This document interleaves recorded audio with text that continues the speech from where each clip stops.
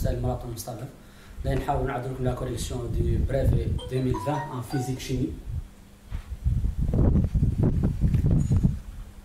Donc, en commençant par le premier exercice, la première question, complétez les phrases suivantes en remplaçant les pointeurs par l'un des mots suivants. Vous avez les mots atome, réactif, conservant, produit et conservé. La première ligne, au cours des réactions chimiques, donc au cours des réactions chimiques, exercice numéro 1, complétez les phrases. Donc vous avez les sujets. La première phrase.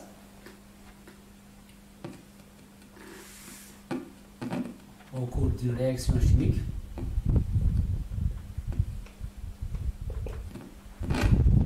Bien, pardon, au cours d'une transformation, c'est-à-dire la réaction chimique, au cours d'une transformation.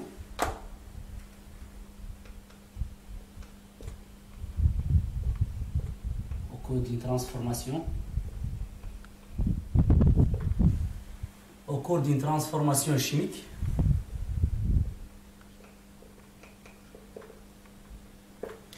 La masse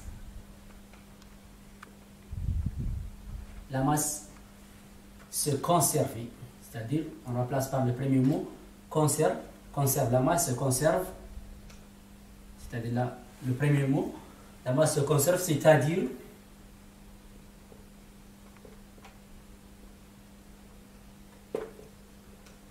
c'est-à-dire que la somme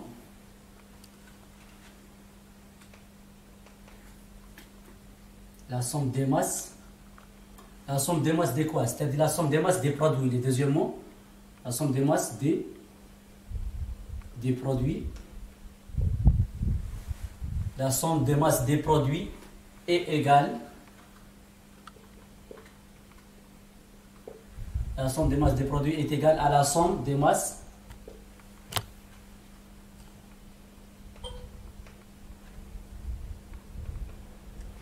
à la somme des masses des, des réactifs. Le troisième, le troisième, le troisième mot. La somme de masse des, des réactifs. La deuxième phrase. Au cours d'une transformation, les atomes, au cours d'une transformation, au cours d'une transformation, les atomes.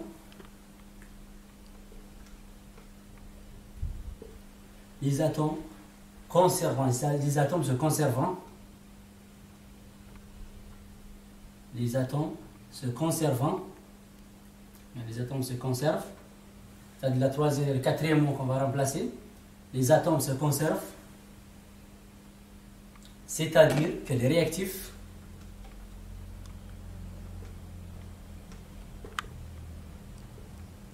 c'est-à-dire que le réactif et les produits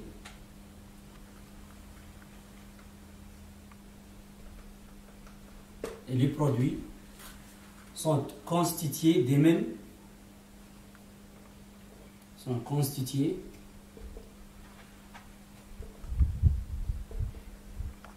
sont constitués des mêmes sont constitués des mêmes atomes sont constitués des mêmes, atomes. Donc, c'est comme ça on remplace tous les pointails par les mots convenables.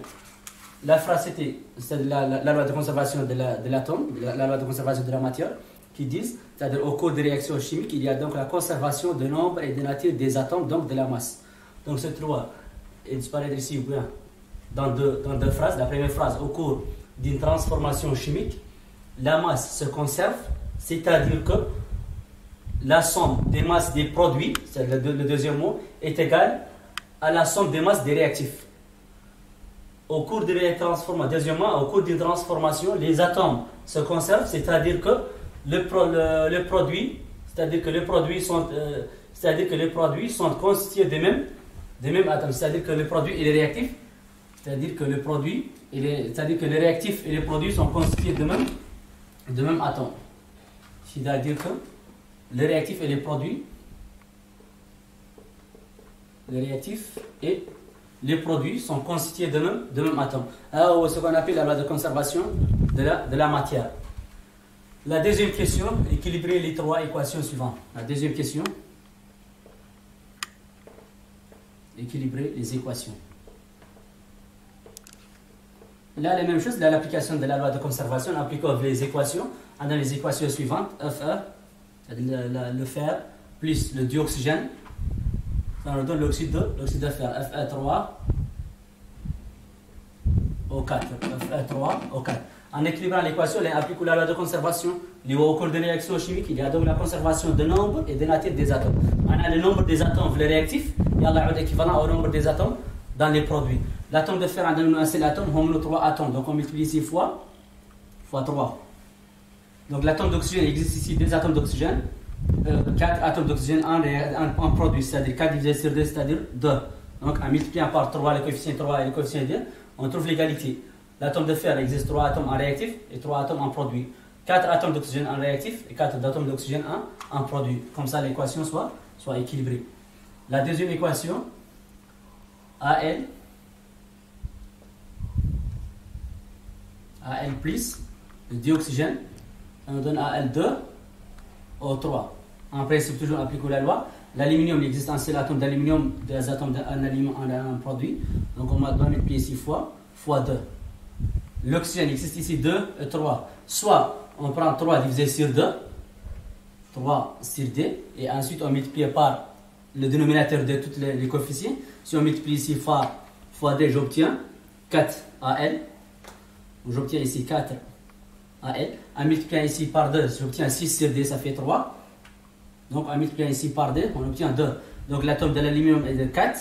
Et ici 2 fois 2, 4. L'atome d'oxygène 3 fois 2, 6. Ici 2 fois 3, 2 fois 3, 6. Euh, la, la, troisième équation, la troisième équation, heureusement, c'est équilibré. Le carbone plus le O2, ça nous donne CO2.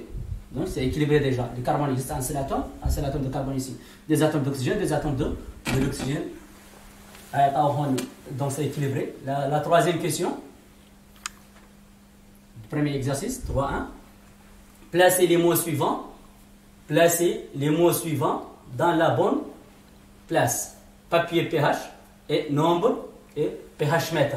Vous avez la phrase, d'après la définition du pH, à placer les mots.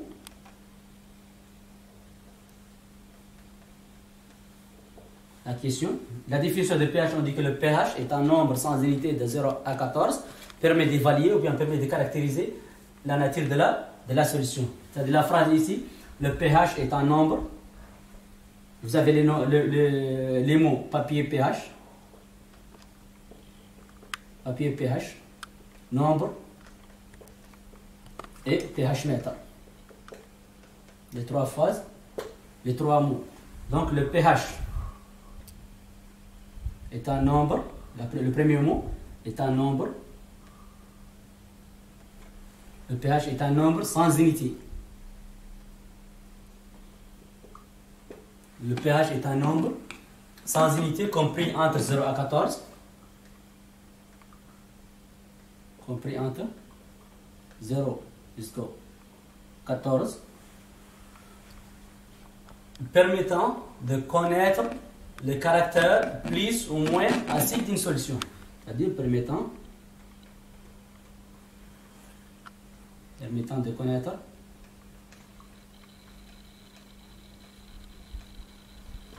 le caractère plus ou moins, le caractère plus ou moins acide d'une solution.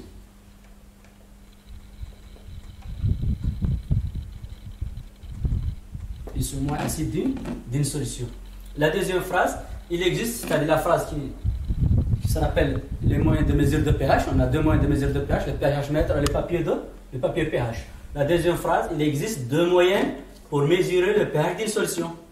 Quels sont les deux moyens? Le pH mètre et le papier pH. Ou bien le papier pH et le pH mètre. Il existe deux moyens. Donc, il existe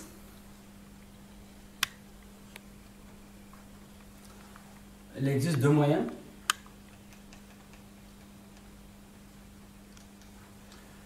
Il existe deux moyens pour mesurer le pH d'une solution. Pour mesurer le pH d'une solution. Quels sont les deux moyens? Le deux moyens, le, le papier pH et le pH mètre. Le papier pH, donc pour mesurer le pH d'une solution, le papier pH, ou bien le pH mètre, c'est pareil. Le pH mètre et le papier, et le papier pH.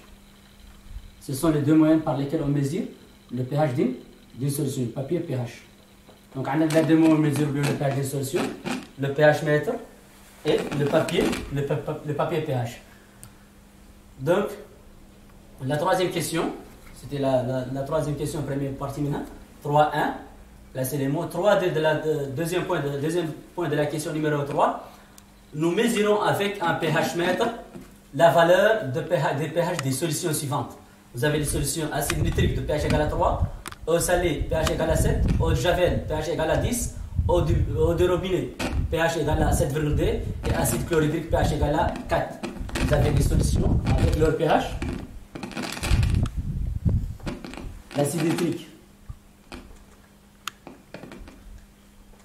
Acide nitrique de pH. L'acide nitrique de pH égal à 3. Le salé de pH égal à 7. un salé de pH égal à 7. Eau de javel pH égal à 10. Eau de javel de pH égale 10. Eau de robinet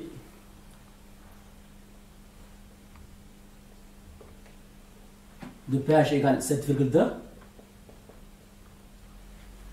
Eau de, de l'acide chlorhydrique de pH égale à 4 de l'acide chlorhydrique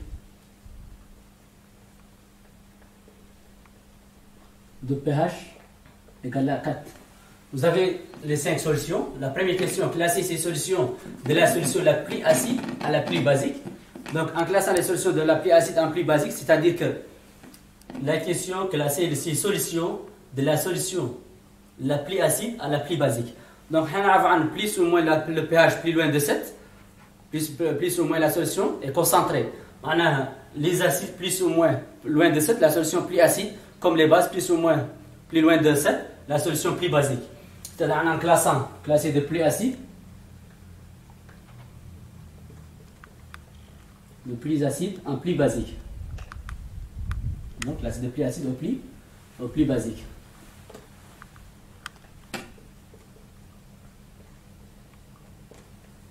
Donc, on classe les solutions. On commence par l'acide nitrique.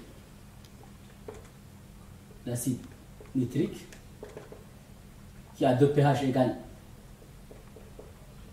3. Et ensuite, l'acide chlorhydrique. L'acide chlorhydrique. 2 pH égale 4. Et ensuite, le, le, le, le, salé. Le salé de pH égale 7. Et le de robinet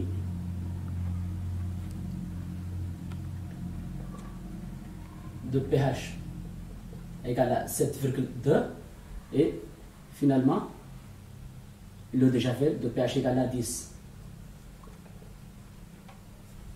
Le Javel de pH égal 10. Comme ça, on commence par la solution la plus acide, c'est l'acide chlorhydrique, en arrivant à la solution la plus basique, c'est l'eau de Javel. Y compris entre les deux solutions, les solutions par ordre de plus acide au moins acide, au moins basique au plus basique. Donc l'ordre en commençant par la solution la plus acide jusqu'à le moins acide, et en arrivant à la solution neutre, en passant à la solution la moins basique jusqu'à la solution la plus basique. C'est comme ça qu'on fait le, classement de plus acide jusqu'à le plus, le plus basique. La question suivante, on ajoute 80 ml d'eau pure. on ajoute à 80 ml, on ajoute à 80 ml d'eau pure 20 ml de la solution d'acide nitrique. Donc la solution d'acide nitrique, c'est une solution acide de pH égal à 3 inférieur à 7. On ajoute à 20 ml de cette solution 80 ml de l'eau d'acide chlorhydrique. Donner le mot, ou bien le nom, pardon, de cette opération. C'est-à-dire l'opération ici, l'ajout de, de l'eau, c'est une solution acide. L'opération appelée la, la dilution. Le nom de l'opération. La question numéro 3, 2, 2. C'est la question numéro 3, 1, 1. La question numéro 3, 3, 2, 2. Le nom de l'opération. L'opération, c'est quoi? L'opération, c'est l'ajout de l'eau. Le nom de l'opération, c'est la dilution. C'est-à-dire la dilution.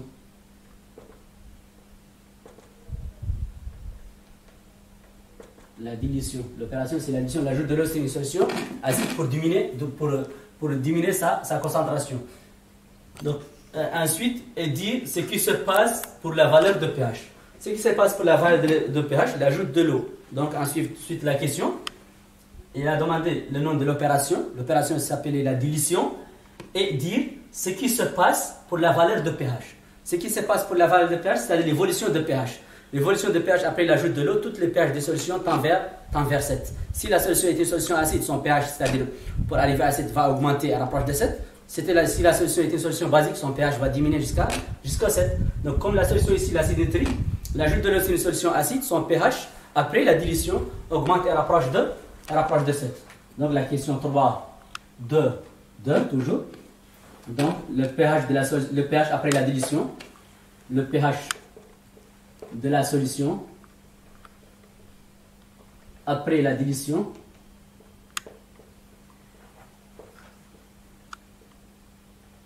après la dilution diminue à l'approche de augmente pardon augmente et à l'approche de 7 et à l'approche de 7 donc c'est l'évolution de pH après, après la dilution c'était l'exercice de la chimie de 7 points donc, en passant au premier exercice, deuxième exercice en physique, exercice numéro 2. L'exercice numéro 2. Un solide C de masse M égale à 1 kg. Donc M égale 1 kg. La masse M égale à 1 kg. Est en équilibre au-dessus d'un plan horizontal.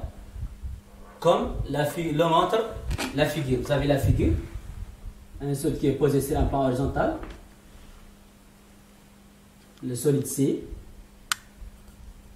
ici la force qui s'exerce par le plan, la force exercée par le plan sur le solide.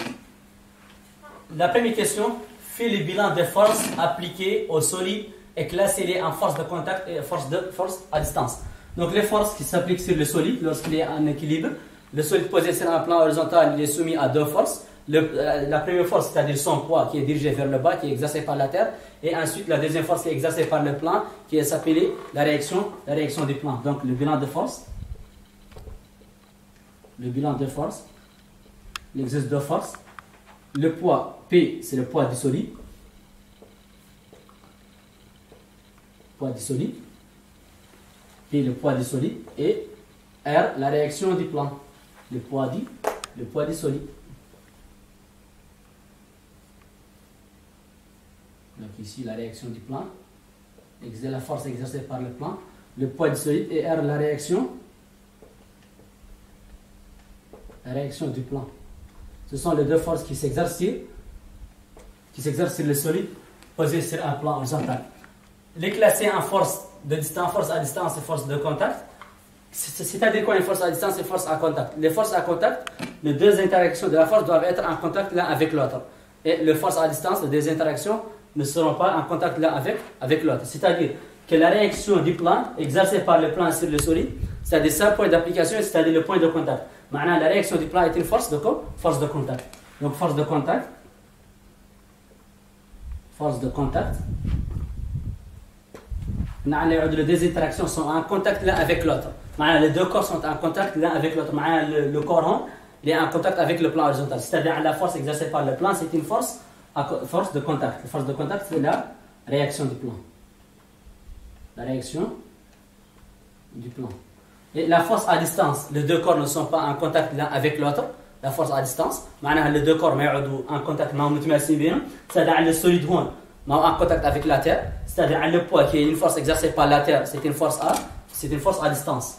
Maintenant on appelle ici force à distance, c'est-à-dire le poids du, le poids du solide. Le poids du solide. Donc, les deux forces, force de contact, la réaction du plan, et la force à distance, c'est le poids du, le poids du solide. Euh, la, troisième, la deuxième question, c'est la première question ici. La deuxième question, calculer la valeur du poids. On donne G égale à 10. Donc, en G, le pesant terrestre égale à 10 N par kilogramme. La masse est donnée 1. Le poids, donc le poids du solide. P, d'après la relation P est égal à M fois G. M fois G, en appliquant M égale à 5, euh, à 1, pardon. Donc la masse est égale à 1 kg. On n'a pas besoin de convertir. Donc 1 fois le pesanteur 10, c'est-à-dire un P est égal à 10 newton. C'est le poids du, le poids du solide. Euh, la troisième question, que représente la force R schématisée sur la figure La force R schématisée sur la figure, c'est la réaction du plan. On a la deux forces. Là, le poids du solide qui est dirigé vers le bas et la force qui est le contraire du poids, il est la réaction, la réaction du poids. La réaction du plan, pardon. Donc, la, la force R, la force R schématisée sur la figure représente, la réaction du plan. La réaction du, plan. C'est la force exercée par le plan sur le, sur solide. Euh, la troisième question, énoncer la condition d'équilibre. La troisième, quatrième question, énoncer, énoncer la condition d'équilibre. Donc, on, on, une suite de la numérotation, on répéter le, le numéro 3, 3. On devrait, devrait écrire ici 4, énoncer la condition d'équilibre, en déduire la caractéristique de. La condition d'équilibre. La condition d'équilibre. Dans la condition d'équilibre on a une règle générale, la somme des forces exercées vectorielles égale à vecteur nu. Quelles sont les forces ici? Les forces c'est ce qui implique le poids plus la réaction du plan égale à vecteur nu. Comme le poids et la réaction du plan sont de sens contraire, P dirigé vers le bas, le poids dirigé vers le bas, et la réaction dirigée vers le haut, les forces sont de sens contraire, c'est-à-dire des signes, des signes contraires, ce qui implique un P moins R est égal à 0. Donc ce qui implique P est égal à R. Le poids est égal à la réaction, le plan est égal à M fois M fois G. Ce sont les caractéristiques, les caractéristiques du poids, les conditions, pardon, c'est la condition d'équilibre. Donc on déduit la caractéristique, les caractéristiques de R. D'après le schéma, les caractéristiques de R. Donc les caractéristiques, les caractéristiques de toute force sont le point d'application, la direction, le sens et la valeur. Donc d'après le schéma les caractéristiques de R, point d'application, c'est le point de contact, la direction verticale, le sens vers le haut et la valeur R égale à P égale à M fois M fois G. Donc les caractéristiques de les caractéristiques de R. Point d'application, c'est le point de contact. Point d'application, c'est le point de contact.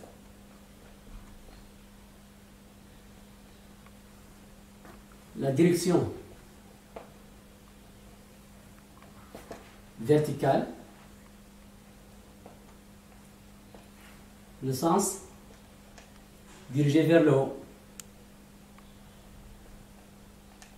vers le la valeur, bien intensité, valeur, R est égal à P est égal à 10 newtons. Ce P déjà calculé.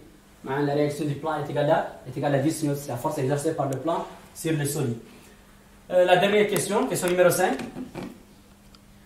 Représenter sur le schéma les forces appliquées à l'échelle 1 cm égale à 5 newtons. Par l'échelle, 1 hein, cm égale à 5 newtons, les forces sont de valeur 10 newtons. C'est-à-dire 1 cm équivalent à 5 newton.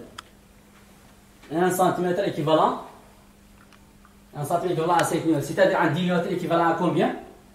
10 newtons équivalent à 2 cm. Donc 2 cm, 2 fois 10 égale 10, 2, 10 fois 1 divisé sur 5, c'est-à-dire 2, 2 cm. Maintenant, la force, échelle de 10, de 2 cm.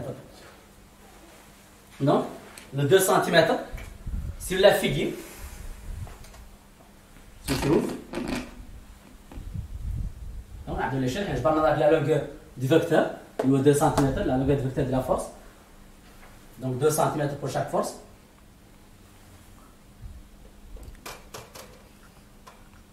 Donc là, la figure 1.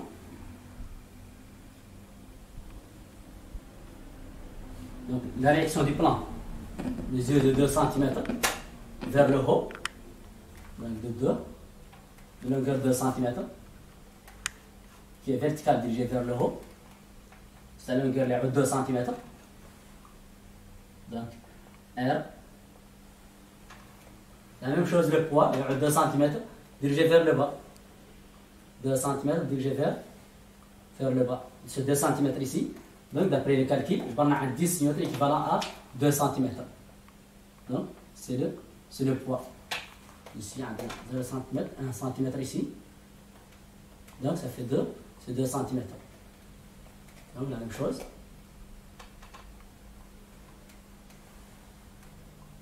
1 cm, 2 cm. C'est la représentation de deux forces. C'était l'exercice. C'est l'action mécanique et notion de force. Quand la première question, le bilan de force, le poids et la réaction. La deuxième question, c'est-à-dire le classement en force de contact et force à distance. Force de contact, la réaction du plan. Et force à distance, c'est le poids du solide. Euh, la, troisième question, la deuxième question, calculer le poids. Le poids égal à m fois g égale à 10 N. Et ensuite, la force R. Qu'est-ce que représente la force R? La force R représente la réaction du plan, c'est la force exercée par le plan sur le solide. La quatrième question, la condition d'équilibre, sont de force exercée égale à 0, P vecteur plus R vecteur égale à vecteur nul, c'est-à-dire la force vectorielle. Donc, comme le poids et la réaction de sens contraire, un dessin contraire, P moins R égale à 0, c'est qui implique P égale à R. Euh, d'après les caractéristiques de R, point d'application, point de contact, la direction verticale, le sens vers le haut, et la valeur, ou bien l'intensité R égale à P ou égale à 10 newtons, ou la représentation en échelle, chaque force égale à 10 newtons, c'est-à-dire 10 newtons équivalent à 2 cm d'après l'échelle 1 cm équivalent, équivalent à 5 à 5 newtons. Donc l'exercice numéro 3, exercice numéro 3 en physique. Exercice numéro 3. L'exercice numéro 3. La maison de Bilal dispose 5 lampes identiques. La maison de Bilal dispose 5 lampes identiques de puissance 220 volts et 100 watts, d'un fer à repasse de 220 volts et 1000 watts, d'un téléviseur 220 volts et 2000 watts, d'un frigo de 220 volts et 1500 watts. La maison dispose d'une de prise de contact électrique identique de 220 volts. Bilal fait fonctionner quotidiennement les 5 lampes pendant 4 heures, le téléviseur pendant 5 heures, le fer à repasse pendant une durée de T quelconque et le frigo pendant 4 heures. La première question, donner la signification physique des indications d'une lampe. C'est-à-dire la signification que représentent les indications qui s'écrit sur, une lampe 220 volts et 100, et 100 watts. La signification, donc la première question, la signification de 220 volts représente quoi? C'est la tension, la tension en volts. Et 100 watts représente quoi? Que signifie 100 watts? Signifie la puissance de la lampe, la puissance en watts. Donc, c'est l'exercice numéro 3 en physique. La deuxième question, la première question quand la signification, la deuxième question, calculer la résistance d'une lampe si elle est traversée par une intensité égale à 8 ampères. La résistance de la lampe, 2. La résistance de la lampe, d'après la relation R, est égale à la tension sur l'intensité. L'intensité, c'est donné 8 ampères. Et la tension, c'est déjà donné 220 volts, ce qui implique que R est égal à 220 divisé sur 8 ampères. Donc R est égal à 27,5 ohms. C'est la valeur de la résistance. La troisième question, calculer l'intensité qui traverse le fer à repasse si sa résistance est de R égale à 44 ohms. L'intensité qui traverse le fer, 3. L'intensité qui traverse le fer. Donc I est égal à, d'après la loi d'Ohm, I est égal à la tension sur la résistance. La résistance est donnée 44 ohms. Donc I est égal à 220 volts divisé sur 220 divisé sur 44. Donc on obtient I est égal à 5, 5 ampères. C'est la valeur de l'intensité qui traverse le fer à repasse. Ensuite, quatrième question. Bilal reçoit une facture de la Somelec qui lui demande de payer 3000 émeraudes correspondant à la consommation pendant 3 jours. Les consommations, de, le début de l'exercice, ce sont les consommations quotidiennes. Que le téléviseur a fait fonctionner le téléviseur pendant 4 heures, le fer à repasse pendant une durée comptait, le frigo pendant 4 heures et les lampes pendant, pendant 5 heures. Ce sont les consommations quotidiennes. Le facture à payer, c'est la facture qui correspond à la consommation par mois, 30, pendant 30 jours.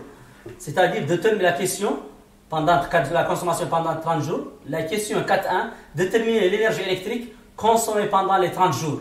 Si le prix d'un kilowattheure est de 5 MRO. C'est-à-dire la consommation, consommation mensuelle. Mensuellement, c'est-à-dire pendant 30 jours.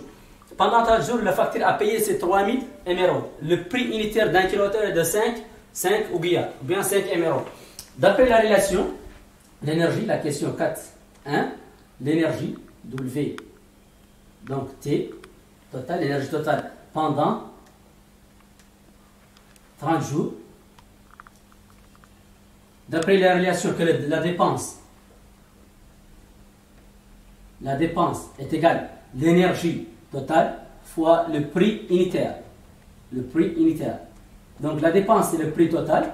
Le prix total qui est 3000 c'est-à-dire en 3000, ah, ça c'est le coût de consommation, est égal WT fois le prix unitaire. Le prix unitaire est de 5, 5 MRO par le ce qui implique que l'énergie consommée pendant cette durée de fonctionnement est de 3000 divisé sur 5, qui est équivalent à 600 kWh. Donc la consommation mensuelle, l'énergie consommée par tous les appareils pendant une durée de 30 jours est équivalente à 600 kW, 600 kWh. C'était l'énergie consommée partout, par tous les appareils, y compris le fer à repasse, les 5 lampes, le téléviseur et le frigo. La question 4.2, la question 4.2, on va effacer ici. Donc l'exercice numéro 1.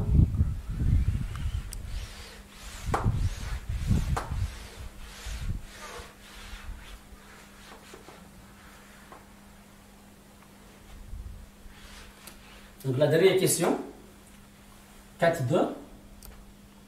Montrer que l'énergie électrique consommée quotidiennement, c'est-à-dire l'énergie par jour, montrer que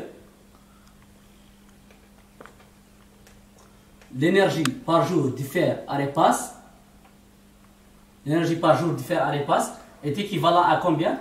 Est équivalent à 2 kWh, est égal à 2 kWh. Donc, montrer à l'énergie consommée par le fer pendant un jour, c'est-à-dire la consommation quotidienne du fer à repasse est de 2 kWh. Nous avons déjà calculé l'énergie totale pendant une durée de, de 30 jours pour tous les appareils. L'énergie l'énergie des appareils Camlin pendant une durée de 30 jours. La question est, nous devons calculer, c'est-à-dire calculer l'énergie consommée par le fer. Le fer, sa durée de fonctionnement, c'était inconnu. Il y a une durée quelconque, pendant un jour d'une durée quelconque. La durée de temps, mais la durée du temps, mais sa puissance est égale à 1000 watts. On a l'énergie consommée par tous les appareils pendant une durée de 30 jours. D'après la relation l'énergie W totale, l'énergie totale des appareils Camli pendant un mois est égale W par jour consommé par le téléviseur, l'énergie du téléviseur, plus l'énergie quotidienne consommée par le fer à repasse, plus l'énergie quotidienne consommée par le frigo, plus l'énergie quotidienne consommée par les lampes. tout ça multiplié fois, multiplié fois 30. Tout ça multiplié fois 30. pourquoi on multiplie par 30 L'énergie, c'est l'énergie mensuelle. Mensuelle pendant un mois, fois 30 jours. Ça, c'est l'énergie quotidienne, c'est-à-dire par consommation par jour. Et multiplié par 30, il y a la consommation mensuellement pour, pour 30 jours. Donc, on commence par le calcul de l'énergie du téléviseur, l'énergie des lampes l'énergie des frigos qui sont connues. L'énergie du fer est inconnue. Donc, l'énergie est égale à un calculage par 600. Donc, là, un énergie quotidienne par le téléviseur, est égal à la puissance en kilowatts fois le temps en heure. D'après les données de l'exercice, la puissance du téléviseur, puissance du téléviseur c'était téléviseur de puissance 10 000 watts. 10 000 watts qui est équivalent à 2 kilowatts. Le temps, le téléviseur on fait, a fait fonctionner quotidiennement les lampes pendant 4 heures, le téléviseur pendant 5 heures. Le temps de consommation euh, du téléviseur, le temps de fonctionnement est de 5, 5 heures par jour. Maintenant, les calculs l'énergie par jour, appelez la multiplions fois, fois 30. Donc, l'énergie, d'après le W joué ici, égale à 2 fois 5, ce qui implique un WG, ça devient égal à 10 kWh par jour. C'est-à-dire, le téléviseur, il consomme 10 kWh par jour l'énergie quotidienne par le frigo est égale à la puissance en kilowatts fois le temps en heure. Donc la puissance du frigo est égale à 1500, 1500 watts qui est équivalent à 1,5 kilowatts. Le temps de consommation, de fonctionnement du frigo et le frigo pendant 4 heures, le temps de, fonctionnement est de, de 4 heures l'énergie est 1,5 fois 4. Donc, le W, G pour le frigo, est égal à 6 kW. L'énergie consommée par le frigo pendant un jour, une durée de 24 heures. Le suivant, l'énergie consommée par jour, l'énergie quotidienne consommée par les lampes, les 5 lampes, qui sont 5 lampes identiques de puissance équivalente, est égal à la puissance en kilowatt fois le temps en heure toujours pour, pour trouver l'énergie en kilowatt en kilowattheure. Donc la puissance des lampes est égale à 100 fois le nombre de lampes qui est 5, maintenant 500 watts, qui est équivalent à 0,5 kilowatt. Le temps, donc, Bilal a fait fonctionner quotidiennement les cinq lampes pendant 4 heures. Le temps, le temps par jour est de 4 heures par jour. Donc, l'énergie est 0,5 fois 4. Donc, W quotidiennement des lampes est égal à 2 kW. 2 kWh, c'est-à-dire l'énergie consommée par, par les lampes. L'énergie de l'application, la relation précédente, l'énergie W totale. WT total l'énergie totale est égale à 600 kWh y compris euh, vers cette énergie, y compris l'énergie des téléviseurs, l'énergie de fer qui est inconnue, l'énergie de frigo, l'énergie consommée par, par les lampes. Maintenant, l'inconnu, il est la valeur totale, il est 600. Donc tout ça multiplié par 30, gagner 30 lèches, il y a une exprime l'énergie mensuellement, par jour. De c'est l'énergie équivalente, les gardons la facture à payer pendant 30 jours. Donc l'énergie en 600, on remplace la valeur d'elle, 600 est égal à l'énergie du téléviseur, c'est combien?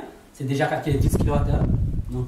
Entre 10 plus l'énergie du fer qui est inconnue, d'où le fait jour de fer à repasse, plus l'énergie de frigo qui est 6 kWh. 6 kWh, on n'a pas besoin de limiter. 6 plus l'énergie des lampes. L'énergie des lampes, c'est combien? 2 kWh par jour. 2 kWh. L'énergie de, des c'est 2 kWh. Tout ça multiplié par, tout ça multiplié par 30 fois 30. Donc en divisant 600 sur 30, on obtient ici combien? 20. Donc 20, 600 divisé sur 30, c'est 20. Il nous reste 10 plus 6 plus 10, ça fait 18. Donc 18 kWh plus l'énergie inconnue du fer. Donc d'après la formule, l'équation première de Gréon, l'énergie du fer est égale 20 moins 20 moins 18, ce qui implique W quotidiennement du fer à repasse est égal. Donc F ici, ça représente le fer à repasse. Est égal à 20 moins 18. Donc on obtient que l'énergie W de fer quotidiennement, l'énergie quotidiennement ici est égale à 2 kWh. C'est la question demandée. Montrer que l'énergie du fer est égale à 2, 2 kWh. نرجع شوي كما تعلى ده قلنا هون عندنا الانرجي بدنا نحكي الانرجي توتال يفهم على يفهم حد عن اكسيسان l'énergie totale l'énergie كامله اللي قاضين لا فاكتور à payer pendant 30 jours مع l'énergie كامله لمده 30 jours ولي كونسوماسيون اللي عطى l'exercice sont les consommations quotidiennes les consommations par jour معناها chaque consommation يعطيني multiplié par 30 كنا يلا نقول l'énergie téléviseur fois 30 l'énergie du fer fois 30 l'énergie du frigo fois 30 l'énergie des lampes fois 30 بلي لو temps حنا نعرفوا عندنا نقول l'énergie puissance fois le temps le temps كم 5 heures par jour يقدر حنا نديروها par mois معناها 5 fois 30 مرة قلنا 30 فاكتور كومان سي بور سا عندنا لا سوم دي انرجي كامل multiplié par 30 يساوي l'énergie totale اللي فترة كالكولي دابري لا فاكتور اللي ماشي على سوم عليك اللي هي 600 دونك بين كالكولي l'énergie كل واحد من وحده كل جبار سون l'énergie quotidiennement هذه هو l'énergie كالكولي الفريغو l'énergie par jour quotidiennement il parle de téléviseur quotidiennement, on va parler là quotidiennement. L'énergie diffère, est inconnue, il a durée de fonctionnement. Quand il dirait quel compter, atteindront 600 l'énergie totale pendant 3 mois, ou les énergies quotidiennes, elles fois 30, mais ah, les consommations mensuellement par 30, multiplié par 30. Donc, pas 600 divisé par 30, il mal multiplié, il a 630, il y a 20, 20, il nous reste ici 10, plus 6, plus 2, ça fait 18 kWh. Bien l'énergie du téléviseur, l'énergie euh, des lampes ou l'énergie des frigos l'énergie des téléviseurs, l'énergie des, de frigos, l'énergie des lampes, ils consomment 18 kWh. La consommation journalière, c'est-à-dire quotidienne par jour, est de 20 kWh. Maintenant, les 2 kWh, pour les faire à repasse. Donc, ma énergie de faire à repasse est de 2 kWh. Euh, suivant la question, suite la question, déduire la durée journalière, c'est-à-dire la durée de consommation par, par jour. Le faire à fonctionner combien d'heures par jour? Combien d'heures par jour? On a de l'énergie par jour, 2 kWh. On a de la puissance. Donc, d'après la, la, relation W, la durée, la durée journalière, la durée journalière, bien la durée quotidienne de fonctionnement.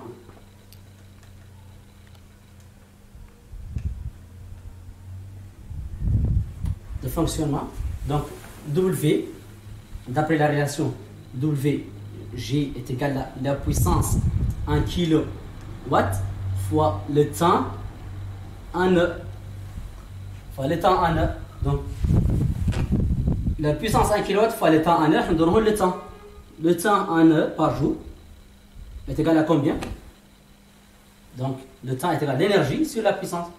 W de P en kW sur W pardon journalier, W quotidien, sur la puissance en kilowatt. La puissance du fer à l'épaisse c'était 1000 watts, on les donne l'exercice. La puissance du fer, la puissance du fer est égale à 1000 1000 watts, ça c'est équivalent à 0,1 kW, pardon, 1 kW, équivalent à 1 kW. Donc l'énergie, avons 2 kW, 2 divisé par 1, donc 2 divisé par 1, ça fait 2 heures, kW, kW. 1 kWh c'est kW est égal à 1 heure, la.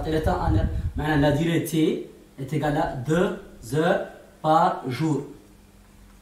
C'est-à-dire la durée de fonctionnement journalier le fer a fonctionné deux heures par jour. Le fer a fonctionné deux heures, deux heures par jour. Donc, merci pour votre compréhension.